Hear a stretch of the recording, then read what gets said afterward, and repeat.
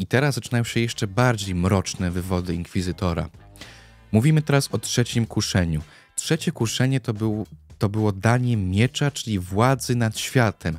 Dlaczego miecz? Moim zdaniem miecz był dany jako symbol czegoś, że władzę nad światem można osiągnąć jedynie za pomocą siły, agresji, zadawania bólu i cierpienia innym, a nawet śmierci. Jest to w pewien sposób, moim zdaniem, makiawelistyczne spojrzenie na świat, kiedy cel uświęca środki. Chcę dobra świata, mogę zabić tyle osób, ile chcę, bo cel uświęca środki. Chcę przecież królestwa niebieskiego na ziemi. Czy może być cokolwiek lepszego? Muszę tylko wyeliminować burżuazję, posiadaczy ziemskich, osoby, które są piątym pokoleniem posiadaczy ziemskich, ponieważ zło jest w nich i muszę je wyplenić. Jest to ten sam język, o którym będzie mówił zresztą później inkwizytor, ale ten język był używany przez komunistów. Jest to dokładnie ta sama idea. Ale, co jest bardzo znaczące, moim zdaniem dość mało satysfakcjonująca jest odpowiedź Jezusa na te słowa w Ewangelii, ponieważ mówi wtedy precz zły duchu albo precz szatanie, nie, nie pamiętam dokładnie. Liczyłoby się na coś bardziej elokwentnego. Ale w każdym razie, ze świeckiego punktu widzenia, Chrystus, czyli najlepszy możliwy człowiek, bo przynajmniej tym ze świeckiego punktu widzenia był Chrystus, odmawia duchowi, który proponuje mu właśnie tego typu makiawelistyczne podejście do życia. I zastanów się nad tym chwilę. Bo moim zdaniem nie da się powiedzieć, że to jest złe. Jest to bardzo, bardzo cnotliwa postawa, kiedy człowiek decyduje się, że pójście po trupach do celu jest złe, jest lepsza droga. Ale oczywiście inkwizytor by się ze mną nie zgodził, ponieważ mówi następujące rzeczy. Nie chcę Twojej miłości, bo sam Ciebie nie kocham. Po cóż miałbym przed Tobą to ukrywać? Czy to ja wiem, z kim mówię, to wszystko, co mam Ci do powiedzenia, jest Ci już wiadome. Czytam to w Twoich oczach. I jakże miałbym przed Tobą skryć naszą tajemnicę? Może chcesz jej wysłuchać? Może chcesz jej wysłuchać właśnie z moich ust? Słuchaj więc. Nie jesteśmy z Tobą, lecz z Nim. Otóż nasza tajemnica. Od dawna już nie jesteśmy z Tobą, lecz z Nim. Już od ośmiu wieków. Dokładnie przed ośmioma wiekami przyjęliśmy od Niego to, coś Ty odrzucił, tamten ostatni dar, który przekładał Tobie, ukazując Ci wszystkie królestwa świata.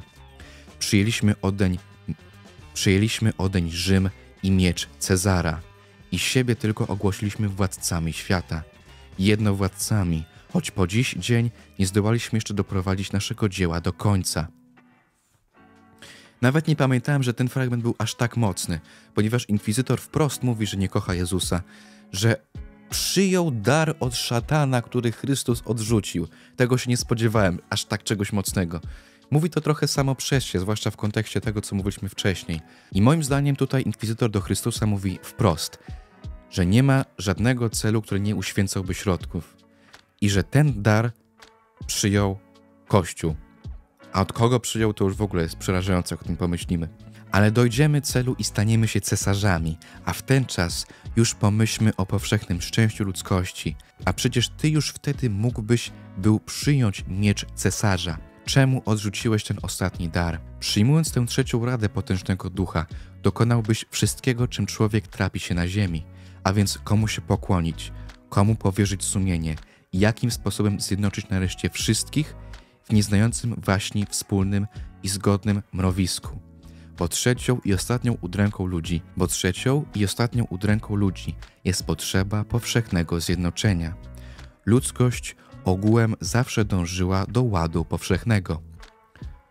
Nie wiem, czy Dostojewski robi to specjalnie, ale moim zdaniem można by tutaj wymienić imię Wielki Inkwizytor na Karl Marx albo Włodzimierz Lenin i byłoby dokładnie to samo. Ponieważ jakby nie patrzeć, te idee, o których tutaj jest mowa, są dokładnym odzwierciedleniem tego, o czym mówili też komuniści. Powszechne zjednoczenie, świat bez granic, wszyscy są braćmi i żyjemy wszyscy w jakiejś utopijnej, cudownej historii, do której trzeba dojść za pomocą rewolucji. Ta rewolucja musi być, trzeba oczyścić najpierw świat z burżuazji. I oczywiście ta rewolucja, czy też wyprawy krzyżowe, chęć władzy nad światem zniewolenia ludzi jest tym mieczem, jaki był oferowany na pustyni przez ducha mrocznego, czy też mówiąc wprost po prostu przez szatana. Jak możesz to rozumieć z perspektywy świeckiej osoby? W sposób bardziej znaczeniowy i symboliczny.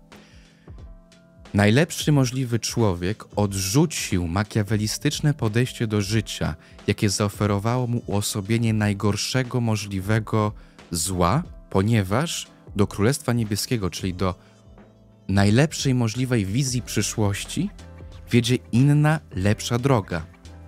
Przynajmniej w taki sposób możesz postrzegać tę historię.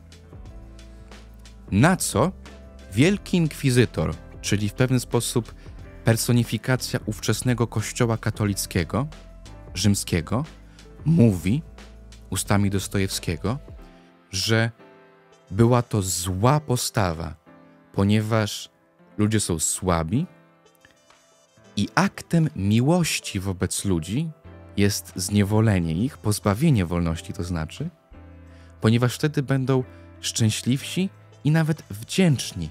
Okropna postawa moim zdaniem. Gdybyś przejął był świat i koronę cesarza, założyłbyś państwo powszechne i uczynił powszechny pokój. Bo któż ma władać ludźmi, jeśli nie ten, który włada ich sumieniem i ma w ręku ich chleb? My zaś przyjęliśmy miecz cesarza, a skoro już go przyjęliśmy, rzecz jasna, wyrzekliśmy się ciebie i poszli za nim. Kurczę! Nie pamiętam, że nawet takie dobre fragmenty tu były, no. Wielki inkwizytor wprost mówi do Jezusa, że się go wyrzekli i poszli za szatanem. Myślę, że tutaj każda świecka osoba, która krytykuje instytucje Kościoła, zgodzi się z Dostojewskim, bo jeżeli nienawidzisz Kościoła, to podejście tutaj w tym wypadku Dostojewskiego do tematu, który twierdzi, że Kościół wyrzekł się Chrystusa i idzie za szatanem, być może nawet jest zgodny z tym, co ty uważasz. Ciekawe, moim zdaniem. Ciekawe, bardzo ciekawe. Co u ciebie słychać? Jeżeli podobał się tobie ten fragment, to kliknij tutaj, aby zobaczyć cały odcinek. I nie zapomnij o subskrypcji.